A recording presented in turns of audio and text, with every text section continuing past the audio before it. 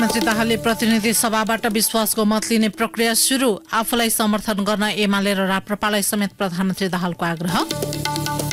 रासायनिक मलमा दिँदै आएको अनुदान कटौती गर्ने सरकारको निर्णय फिर्ता। अनुदानलाई थप व्यवस्थित गरिने संचार मन्त्री शर्माको भनाई। भारतमा पन्जाबबाट सिख धर्मका एक सय बढी समर्थकहरू पक्राउ। र तिरोत्तमा गोल्ड कप फुटबलको क्वार्टर फाइनलमा विभागीय टोली एफएफ र फ्रेन्च क्लबबीच प्रतिस्पर्धा हुँदै। नमस्कार कान्तिपुर डायरीका साथमा साथी नवीन र म पार्वता समाचार अब विस्तारमा। प्रधानमन्त्री पुष्पकमल दाहालले प्रतिनिधि सभाबाट विश्वासको मत लिने प्रक्रिया सुरु भएको छ। प्रधानमन्त्री दाहालले संसद बैठकमा धारणा राख्दै आफूलाई विश्वासको मत दिन प्रस्ताव गर्नुभएको छ। उहाँले विश्वासको मतका लागि एमाले र राष्ट्रिय प्रजातन्त्र पार्टीलाई समेत आग्रह गर्नुभएको थियो। प्रधानमन्त्री दाहालले बोलेपछि अहिले विश्वासको मत दिने प्रस्तावमाथि विभिन्न दलका नेताहरूले धारणा राखिरहेका छन्। गत पुष दस गते प्रधानमन्त्रीमा नियुक्त दाहालले पुष छब्बिस गते विश्वासको मत लिनुभएको थियो। त्यसबेला संसदमा उपस्थित दुई सय सत्तरी मध्ये दुई सय अडसठी मत दाहालको पक्षमा खसेको थियो। तत्कालीन सत्ता गठबन्धनको नेकपा एमाले राप्रपा सहित नेपाली काङ्ग्रेस र एकीकृत समाजवादीले पनि दाहाललाई विश्वासको मत दिएका थिए। राष्ट्रपतिको निर्वाचन ताका सत्ता समीकरण फेरिएपछि एमाले र राप्रपाले सरकारमाथिको समर्थन फिर्ता लिएर बाहिरिएपछि प्रधानमन्त्री दाहालले पुनः विश्वासको मत लिनु लाग्नु भएको हो। समर्थन गरेका दलले समर्थन फिर्ता लिएको तीस दिनभित्र विश्वासको मत लिनुपर्ने संवैधानिक व्यवस्था छ। विश्वासको मतका लागि प्रधानमन्त्री दाहाललाई कम्तीमा एक सय अडतिस मत प्राप्त गर्नुपर्नेछ।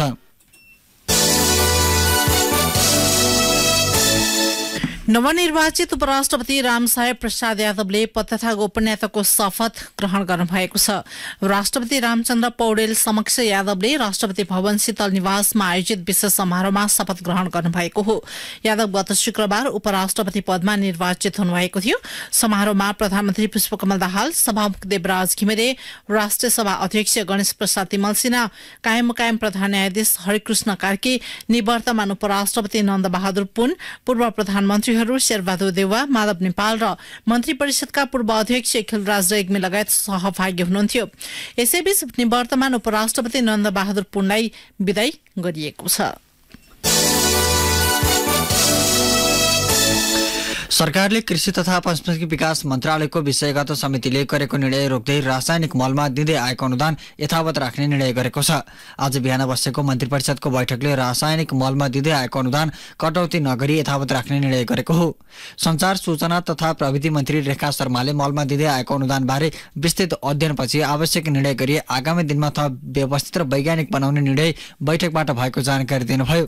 यसअघि सो मन्त्रालयको मल आपूर्ति तथा वितरण व्यवस्थापन समितिले रासायनिक मलमा दिँदै आएको अनुदान कटौती गर्ने निर्णय गरेपछि यसको चौतर्फी विरोध भएको थियो। राष्ट्रिय प्रजातन्त्र पार्टीले भने सह समितिको निर्णयको विरोधमा आज सतहत्तरवटै जिल्लाका प्रमुख जिल्ला अधिकारीलाई ज्ञापन पत्र बुझाउने तयारी गरेको थियो।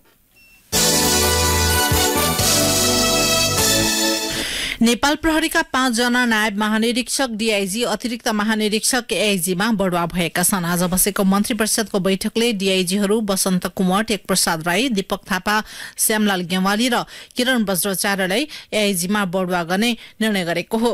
गृह सचिवको अध्यक्षतामा रहेको बढुवा सिफारिस समितिले पाँचैजना डीआईजीलाई बढुवा सिफारिस गरेको थियो। तत्कालीन एआईजीहरू विश्वराज पोखरेल मुकुन्द आचार्य अरूण बेसी रविन्द्र बहादुर धानुक र पूजा सिंहले अनिवार्य अवकाश पाएपछि उनीहरूको ठाउँमा बढुवा पाँच डीआईजीको उनीहरूको ठाउँमा पाँच डीआईजीको बढुवा गरिएको हो।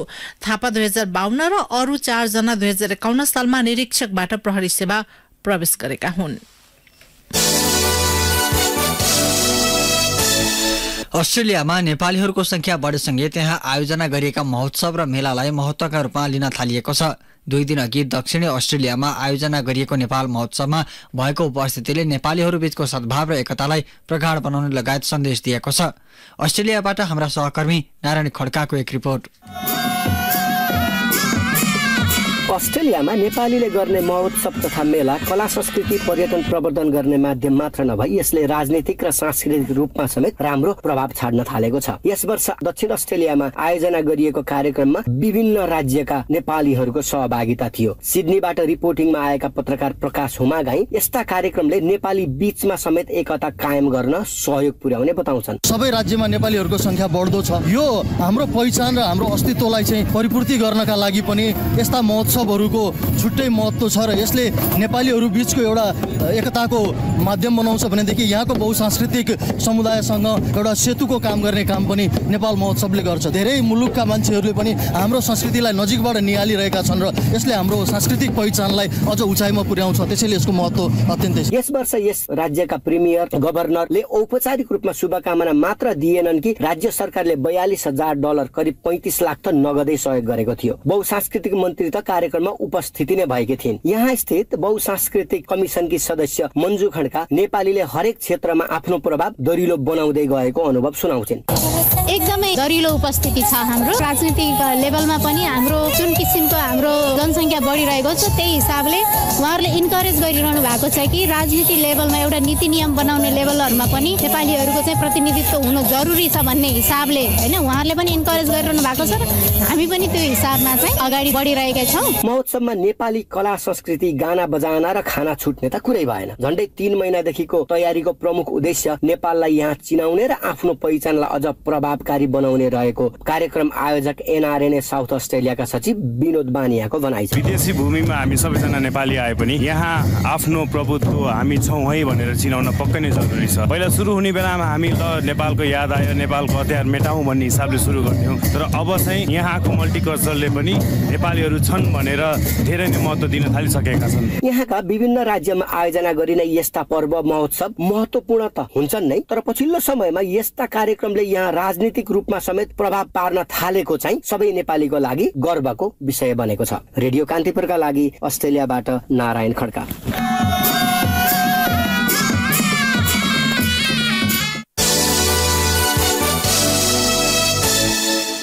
काभ्रे र मकवानपुर जोड्ने सिक्रे दोभान स्थित बागमती खोलाको पक्की पुल निर्माण सम्पन्न नहुँदा स्थानीय समस्यामा परेका छन्। शिलान्यास गरेको छ वर्ष पूरा भए पनि अहिलेसम्म निर्माण कार्य सकिएको छैन।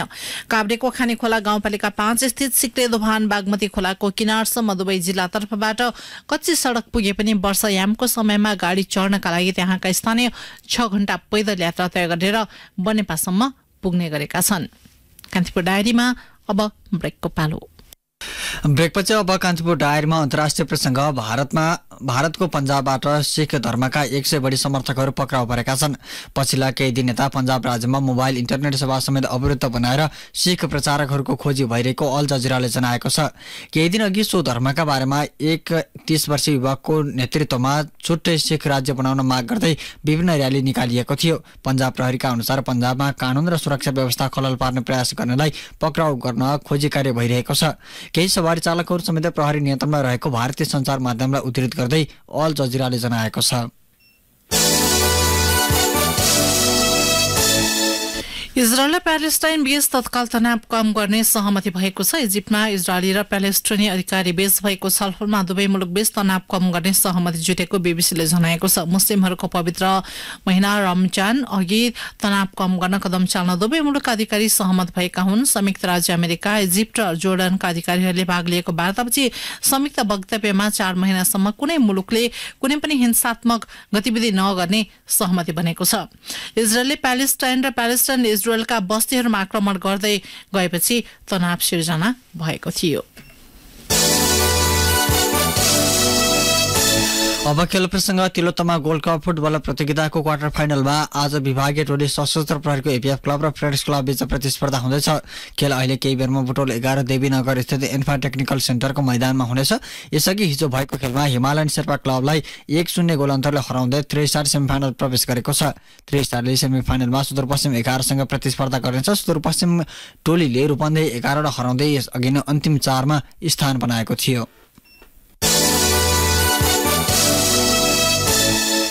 इटहरी गोल्ड कप फुटबल अन्तर्गत तेस्रो क्वार्टर फाइनलमा आज ए डिभिजन एक विजेता मसिन्द्र फुटबल क्लब र पाहुना टोली भारतको कञ्चनजङ्घा फुटबल क्लब बीच अहिले केही बेरमा प्रतिस्पर्धा हुँदैछ। आजको विजेताले साबिक विजेता मोरङको सगरमाथा क्लबसँग पर्सि बुधबार सेमी फाइनलमा प्रतिस्पर्धा गर्नेछ।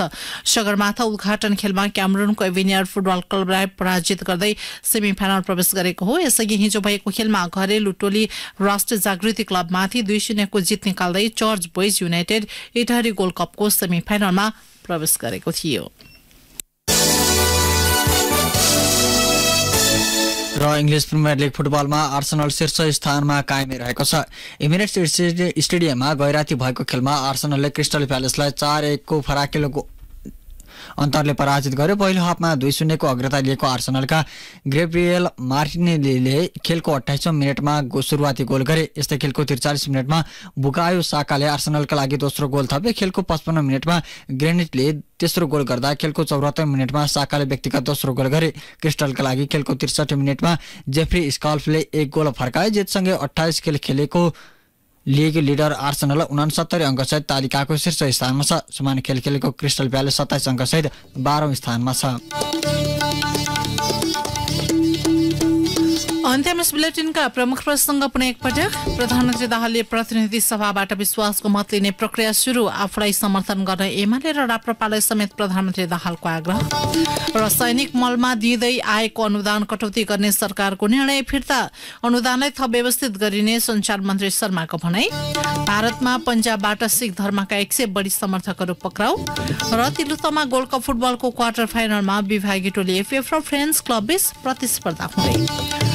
हवस् त यिनै प्रसङ्गसँगै कान्तिपुर डायरीको यो बुलेटिन यहीँ सकिन्छ चार बजे हेल्थ एन्ड एजुकेसन डायरी हुनेछ। नवीन र म पार्वता आज्ञामा छौँ नमस्कार।